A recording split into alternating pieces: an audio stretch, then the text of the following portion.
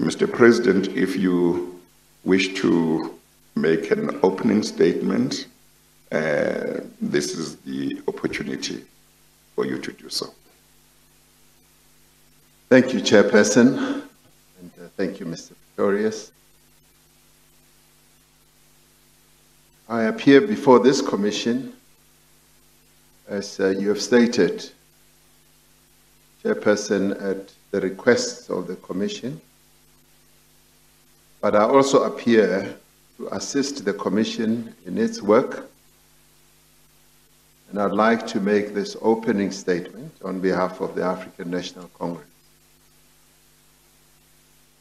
When I was confirming that I would be appearing, I happened to be talking to one of my colleagues who is also head of state. We had to attend to some matter, and I said, I would be appearing before the commission. And his reaction was, ah, how can you do that as head of state? I said, this is how our democracy works. It works in such a way that when there are important matters that affect the state and the government, and indeed the governing party, we will not shy away from appearing before commissions so that we may shed light on the matters that the commission is dealing with and also be able to assist the commission in its mandate. So I appear here in my capacity as President of the African National Congress, having been elected to this position in December of 2017 at the ANC's 54th conference. Yesterday, our country celebrated the 27th anniversary of the advent of democracy. On that day, we ushered in a new era, and as a nation, we made a decisive break with the horrible past of colonialism and apartheid. The ANC, working together with many anti-apartheid formations, led and facilitated the process of crafting a new constitutional dispensation that is today the bedrock of our democracy. This month marks 25 years since the first hearing of the Truth and Reconciliation Commission into apartheid era human rights abuses. It was a remarkable moment in our history to hold that commission, the Truth and Reconciliation Commission, demonstrating our determination as a nation to unearth and confront the crimes of our past so that we may make a decisive break with those violations of human rights and so that we may forge a better future for all our people. This commission of inquiry into allegations of state capture, corruption, and fraud in the public sector carries a similar responsibility. This commission is the instrument through which we seek as a nation to understand the nature and extent of state capture, to confront it, to hold those responsible to account, and to take the necessary measures and steps to ensure that such events do not occur ever again in our country. State capture and corruption have taken a great toll on our society and indeed on our economy as well. They have eroded the values of our Constitution and undermined the rule of law. If followed, or rather, if allowed to continue, they would threaten the achievement the growth, development, and transformation of our country. It is for these reasons that the ANC's 54th National Conference in December 2017 resolved to support the establishment of this commission. The ANC has consistently expressed its support for the objectives and the work of this commission. The National Executive Committee of the ANC has expressed itself in that regard, and we continue to do so. The ANC has taken this position knowing that the organization would itself be placed under great scrutiny, and that the process of examining these matters would very likely be difficult and painful for the ANC. Nevertheless, the ANC maintains that this commission is a necessary part of the broader social effort to end all forms of state capture and corruption. The ANC's position has been that it is the responsibility of ANC members and indeed all South Africans to assist the Commission in its work. Therefore, I appear before the Commission not to make excuses or to defend the indefensible. The ANC has agreed to not only support the work of the Commission, but to assist the Commission in every way possible to fulfill its mandate. My submission and other submissions made on the ANC's behalf by a number of my comrades and colleagues are therefore intended to provide whatever information, context, and explanation the Commission may require. Corruption is not a new phenomenon, phenomenon in South Africa. The apartheid system was morally and systematically corrupt.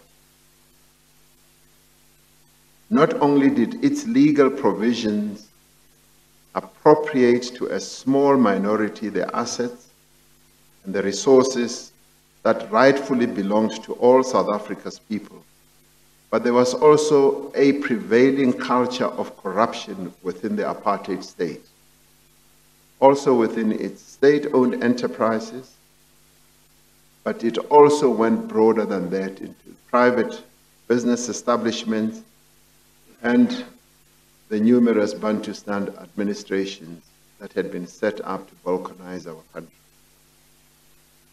The advent of democracy in South Africa was an opportunity to make a decisive break with that past. Through the adoption of a new constitution, we established a new era of transparency, accountability, ethical conduct, and respect for the rule of law. The experience of the past 27 years shows that endeavor to have been, for the most part, successful. And its success can also be measured by the establishment of this commission, which is in a very transparent and open manner, opening up the can of worms of corruption and state capture. Our country has a national parliament and provincial legislatures elected by universal suffrage in regular and free, fair elections. We are proud to have a strong and independent judiciary our democracy is supported by robust institutions, and we have a free and vibrant media. An important aspect of the ANC's approach to corruption over the years is a recognition of the extent to which some ANC leaders and members were advertently and inadvertently complicit in corrupt action.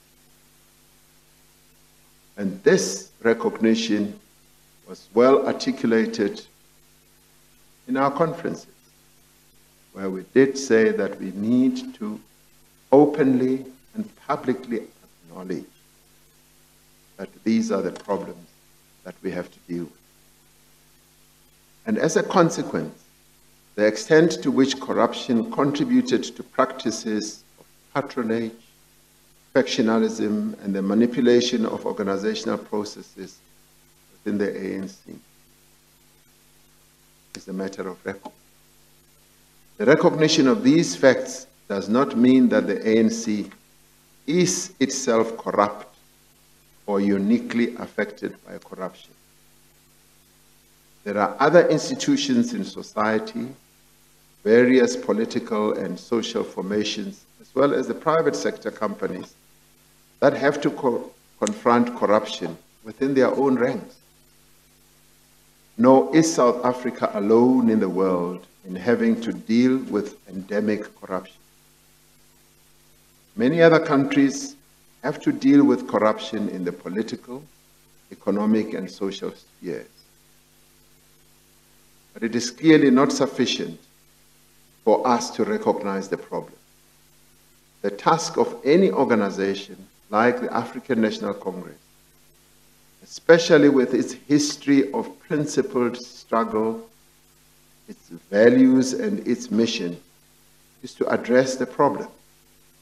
It should be noted that while there is broad consensus within South African society that a process of state capture took place over the course of several years, it took some time for the term state capture to gain currency and for the, for the phenomenon it described to be clearly recognized as such. Therefore, even though some of the incidents that I refer to in my submission may be regarded as instances of state capture, they were not necessarily recognized or described as such at the time. And even as the term gained currency, there were individuals in the ANC and in society more broadly, who contested both the use of the term and the existence of the phenomenon. In my submission, I outline how allegations of state capture arose within the structures of the ANC and how the organization responded at different moments. Without going into detail in this opening statement, it is worth mentioning that one of the earliest claims made within ANC structures of the possibility that members of the Gupta family may have had an improper role in the functioning of the executive was a statement by Minister Fikile Mbalula at an ANC meeting in 2011.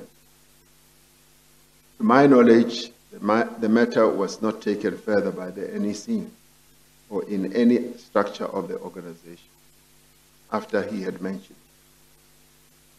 At the time, the statement did not prompt any specific concerns about the capture of the state. With the passage of time, more reports began to surface in the public domain about the alleged capture of public enterprises by private interests and the undue influence of certain individuals, notably members of the Gupta family, in executive decisions and appointments. As the volume of evidence began to mount in the public domain, the issue of state capture even if it was not described in those terms at the time, became increasingly a subject under discussion in the National Executive Committee of the ANC and ANC structures. It was also a matter taken up more directly by ANC's alliance partners, the South African Communist Party and the Congress of South African Trade Unions. It was also taken up by ANC veterans, and other outside structures of the organization, including civil society formations, including religious organizations. Corruption is, by its nature, a covert activity. Those who perpetrate corruption and related crimes generally seek to keep their actions hidden or masked and disguise their intentions. Without direct evidence, without any investigative capability and mandate, and in the face of vehement denials, it is difficult for any structure to confront such activity. In addition, the ability of any organization, but especially a political formation, act on allegations of malfeasance relies not only on its formal rules and procedures, but also on the balance of power within its structure. The alignment of views within such an organization is further influenced by access to the offices of state, where the ability to appoint and to dismiss and even to dispense patronage is concentrated amongst a few individuals. For the ANC, this was compounded by its own subjective challenges. The ANC took time at its 54th National Conference to reflect on, its, on these subjective challenges and recognized the erosion of its organizational integrity as processes have been manipulated to advance the material interests of certain members and associated private companies and individuals. This manifested itself in weak and pliable branches of the ANC. It also manifested itself with vote buying and gatekeeping, factionalism, and open conflict. This provided fertile ground for state capture and corruption.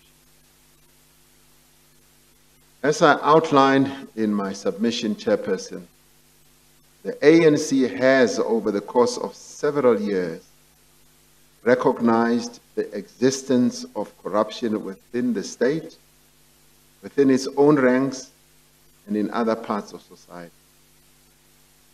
It has taken a number of resolutions on measures to prevent corruption, including on issues relating to state capture.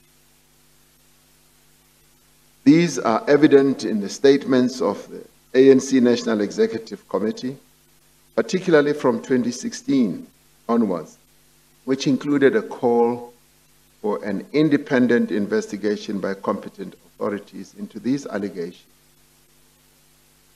The question that arises is whether these resolutions and pronouncements were followed by meaningful action to fight corruption and end state capture. In answering this question, we must acknowledge that the issue of state capture was a matter of great political contestation within the ANC.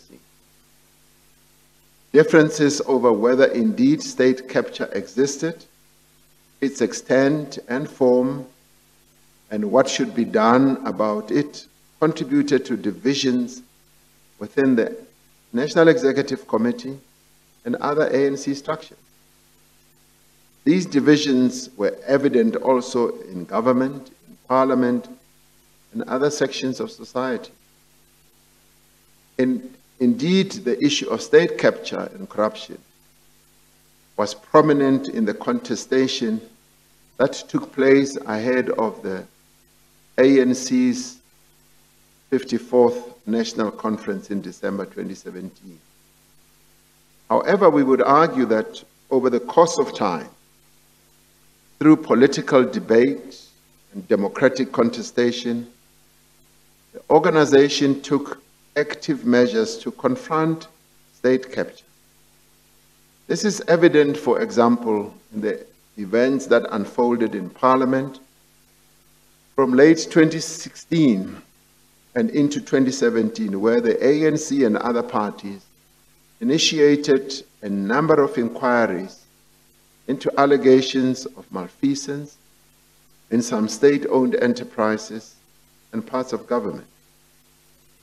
It is clear from the affidavit submitted to the Commission by the former ANC Chief Whip, the late Mr. Jackson Mthembu, that the determination of the ANC in Parliament to probe these allegations was both a response to the evidence of wrongdoing that was accumulating in the public domain and the implementation of the decisions taken by the ANC's constitutional structure, especially its NEC.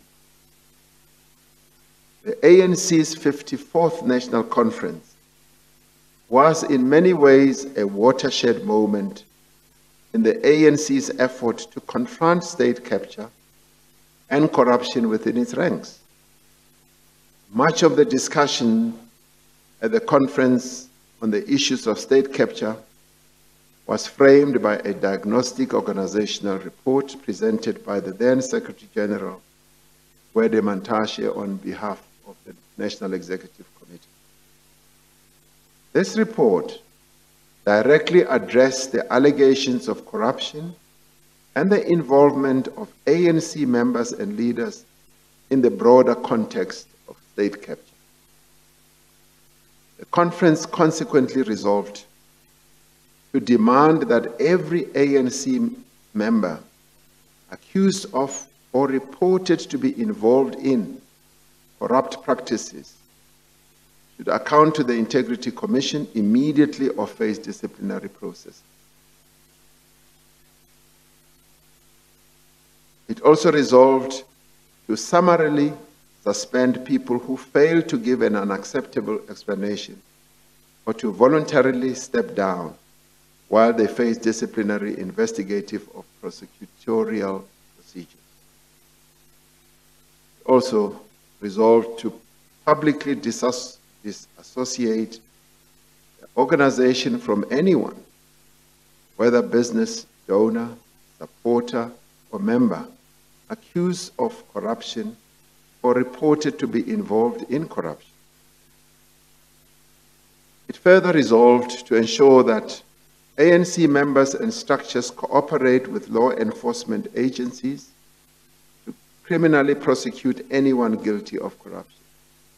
And further, it said it requires the ANC deployees to cabinet, that is national cabinet, especially the Minister of Finance, Minister of Police, Justice, and Correctional Services to strengthen state capacity to successfully investigate and prosecute corruption and account for any failure to do so. Now, these resolutions, in more ways than one, signaled a clear determination by the membership of the African National Congress to acknowledge the organization's failing, to make also a clean break with corrupt practices, and to initiate an ethical, political, and organizational renewal of the ANC. Now, following the 54th National Conference and in line with its resolution, the ANC embarked upon a process of organizational rebuilding and renewal. This included corrective measures both within the ANC and indeed the state, with the latter, while the latter are, are dealt with more extensively in my statement to the Commission, in the capacity as head of state which would be presented, it is important to note that these measures were informed and inspired by the mandate of the ANC's National Conference, which, as you might be aware, is attended by thousands of members from ANC branches across South Africa. One of the areas in which the ANC has taken clear action is to require that members of the ANC who are formally charged with corruption and other serious charges must immediately step aside from all leadership positions in the ANC, legislatures or government structures pending the finalization of their meetings. Such members who do not step aside may be summarily suspended. Furthermore, members of the ANC who are reported to be involved in corrupt and other criminal practices must go to the ANC's Integrity Commission and provide a credible explanation for these allegations or reports. Should members fail to give an acceptable explanation, they may be suspended or subjected to disciplinary process. In line with the ANC constitution, ANC members who are convicted of corruption or other serious crimes must resign from leadership positions and face disciplinary action.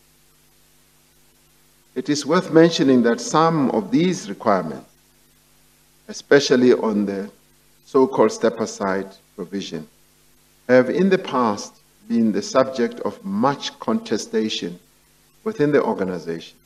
However, there is now broad support within the organization for this for its implementation. At its most recent meeting on the 26th to the 29th of March, the NEC directed that all members who have been charged with corruption or other serious crimes must step aside within 30 days, failing which they should be suspended in terms of Rule 25.70 of the ANC's Constitution. The ANC has embarked on a process of renewal and rebuilding to build a movement characterized by integrity, accountability, and the highest standards of ethical behavior. Now, the process renewal is by itself a process. It's not a one day event, and it's a process that is ongoing. The rate of progress is determined not only by the existence of political will and organizational capacity, but also by the continued existence of vested interests and resistance from those who have much to lose from the corrective measures mandated by the ANC's 54th National Conference. I will now turn to some specific issues that the Commission has asked me to address. The first of this, these is the ANC's approach to cadre development and deployment.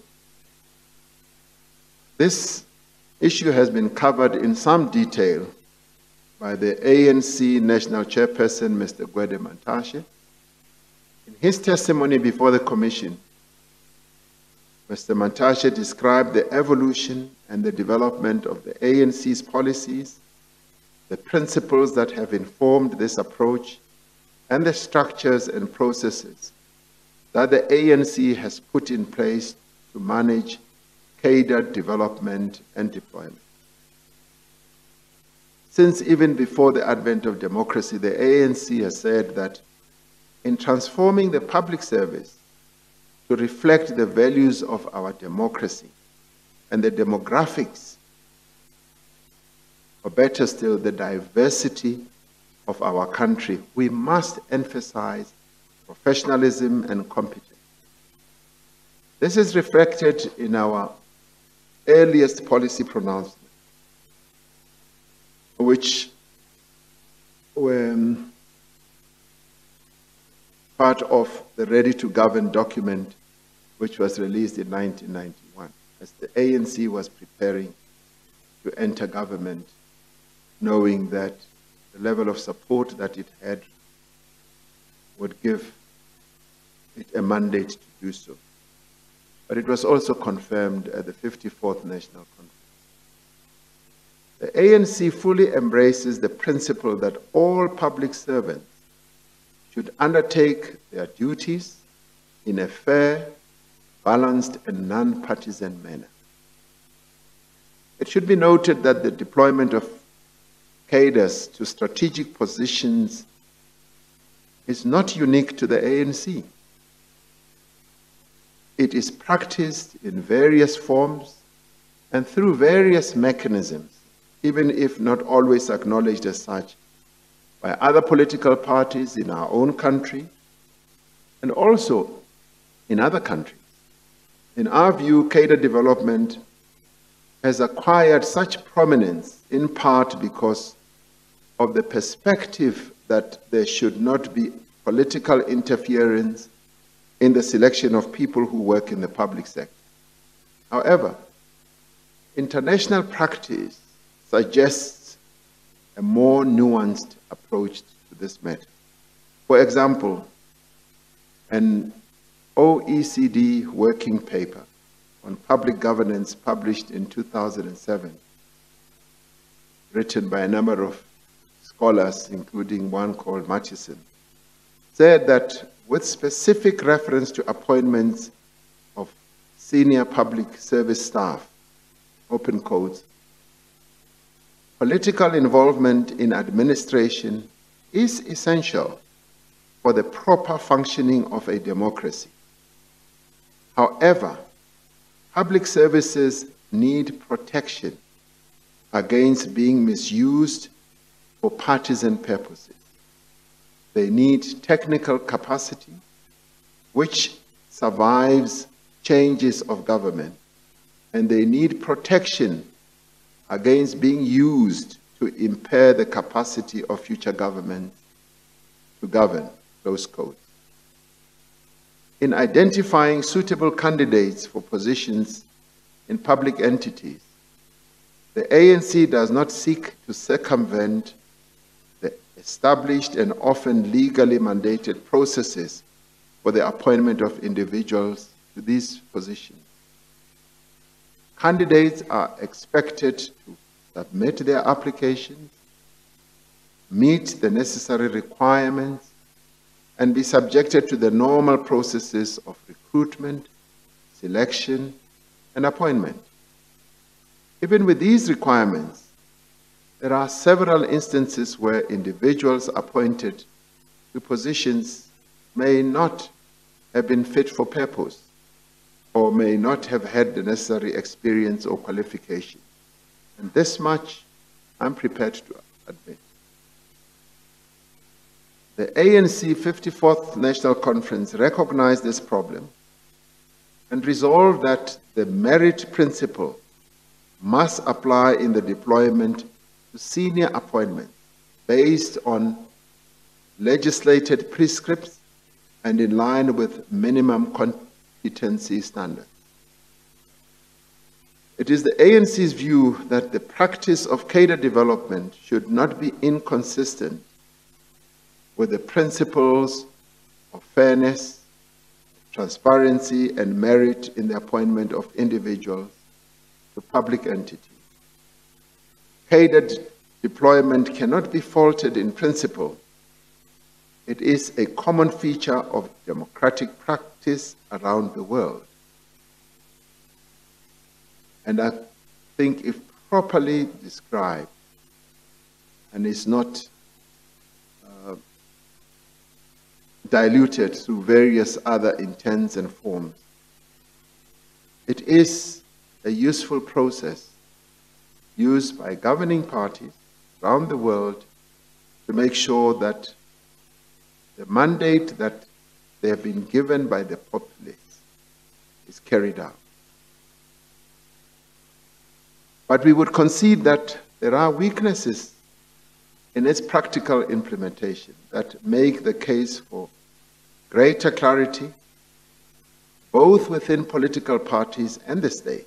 Ultimately, political involvement in the administration of the public service should be and must be circumscribed by legislation, by convention, as well as by practice. And we should do so to protect both political and administrative positions and to create certainty as to the division between political and administrative responsibility. There are a number of governments around the world who utilize this very mechanism, as outlined in the OECD paper. The Commission also asked that I address the funding of political parties. Any successful multi party democracy requires a diversity of functioning political parties that are capable of articulating and representing the needs, the interests, and the concerns of the electorate. For this, political parties require funding. And in the absence of sufficient public funds for this purpose, need to rely on donations from their own members, from supportive individuals, and yes, indeed, from businesses. Until the adoption of the Political Party Funding Act, which took effect from the 1st of April 2021, there were few, if any, specific restrictions on donations to political parties and no requirements on the reporting of donations, either publicly or to any particular authority. Like other parties, the ANC relies on several sources of funding. Many treasurer generals who run the financial affairs of various political parties will testify that the running of political parties has become increasingly costly, expensive, and requires a lot of funding. These include funds allocated to represented political parties, which are administered by the IEC, membership subscriptions, as well as levies that are levied on members who are deployed either in parliament or various places, fundraising initiatives like in the ANC's case, the Progressive Business Forum, funding dinners and other events, and donations from individuals and companies. Despite the absence of any official policy on donations, there is an expectation based on the ANC constitution, its principles and its values that the ANC would not knowingly accept monies that are a product of a criminal act, are offered in exchange for favors, or are from a source known to engage in illegal or unethical activities. The ANC has long recognized the risk presented by the lack of regulation with respect to political funding, political party funding.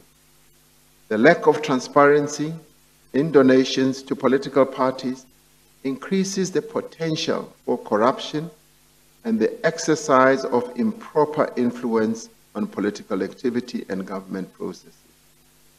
It was to address this problem that the ANC resolved at its 52nd conference that, open quotes, the ANC should champion the introduction of a comprehensive system of public funding of representative political parties in the different spheres of government and civil society organizations. This should include putting in place an effective regulatory architecture for private funding of political parties and civil society groups to enhance accountability and transparency to the citizenry, close quote. It was not until the next ANC conference in December 2012 that the political party funding bill was introduced into Parliament to achieve this purpose. We believe that the Political Funding Act will have a far reaching implication for the integrity and transparency of our political system and will help to rebuild public trust in the political process. While the Political Party Funding Act deals with donations to political parties, the ANC has also identified weaknesses in its approach to the funding of internal party contests, that is, leadership contests. Specifically, it has noted that its guidelines on the conduct of internal leadership elections are not suited for the conditions of the time that we live in and has initiated a process to review its policies on this matter. The issue forms part of the discussion documents published last year in preparation for the ANC's upcoming National General Council.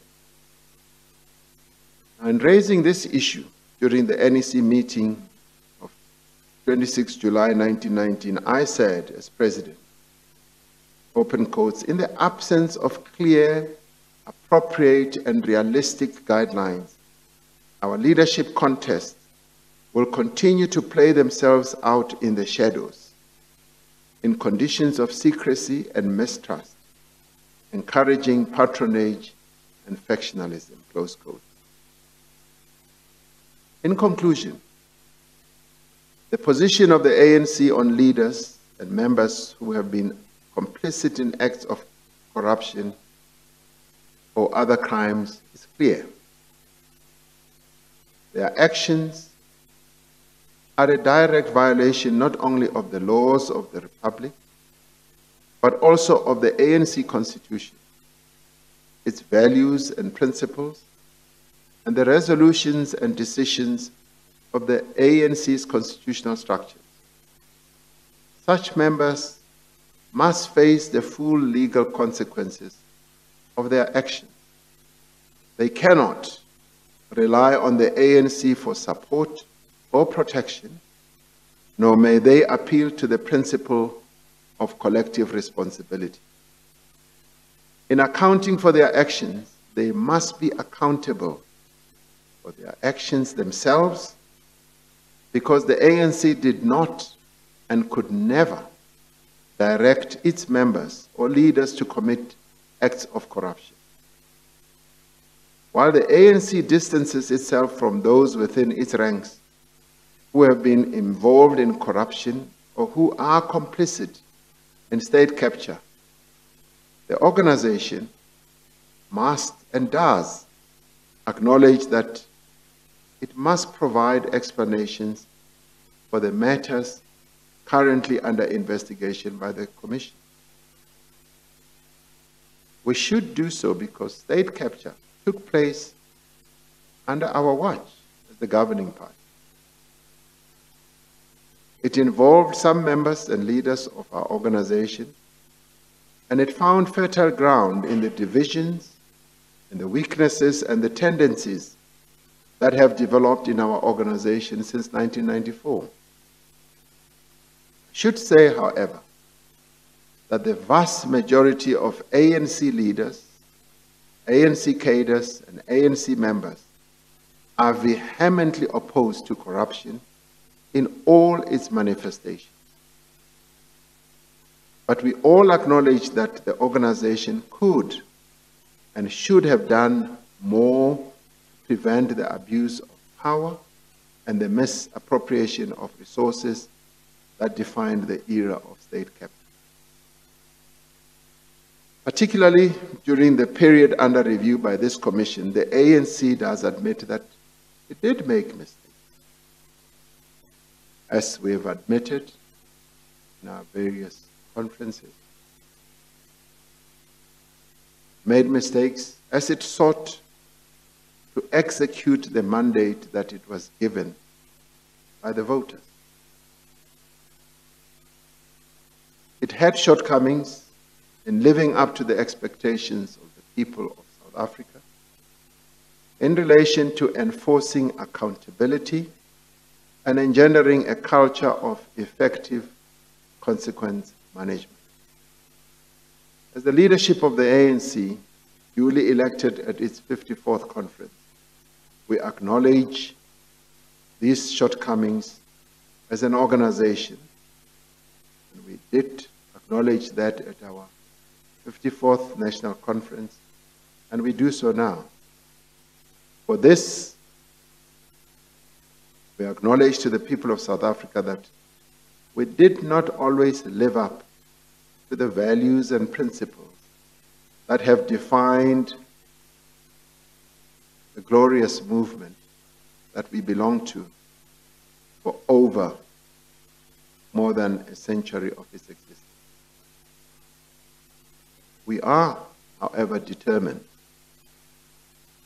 And we undertake to work alongside all South Africans to ensure that the era of state capture is relegated to history and that the excesses that took place may never, never, never, ever occur in our country. I thank you, Chairperson.